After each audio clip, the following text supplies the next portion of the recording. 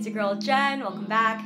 Today I'm doing a video on what to wear to a wedding because we're getting older and some of our friends are getting hitched and I know it's a little tricky to figure out what to wear and what not to wear because there's so many rules. And so what I did was I went on Google and I just read all the articles and the data of what to wear and what not to wear and these are my findings. So I've got five stunning outfits for you so let's get started.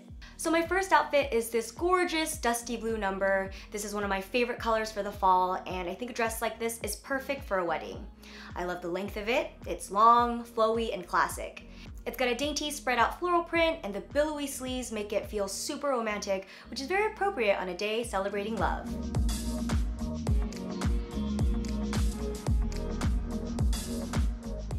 I know it's a big no-no to wear white to a wedding, but when you're rocking a pattern like this, I think it's okay. Because it's mixed in with this black pattern, it allows you to bend the rules. I think dresses like these are a no-brainer when it comes to weddings because you don't have to worry about the bottom since it's all attached. It's one article of clothing you can just slip into and boom, you look presentable and ready to go.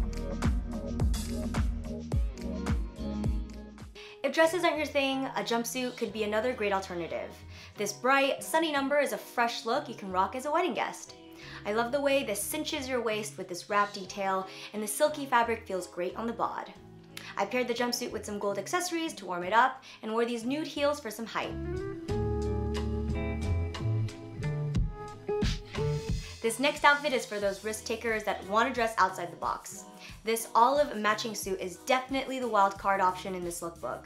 This suit is from Iorane and I love how it just flows on the body. Instead of a button down, I wore this white sleeveless top from Are You Am I and you're gonna look cool and structured in this getup.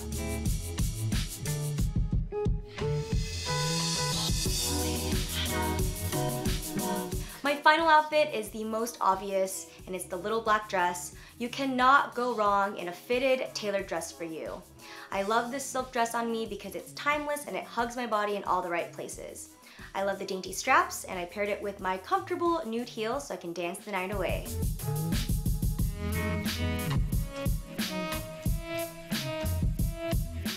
All right, everyone, that is a wrap on this short and sweet lookbook. I hope you guys got some inspiration, and I would love to know in the comments down below if you or someone you've known has been married. I think it's just a really beautiful milestone in everyone's lives, and I would love to just hear your experience.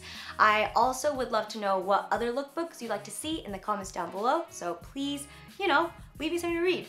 I want to thank you guys so much for watching, and I'll see you guys in the next one. Bye! Mwah.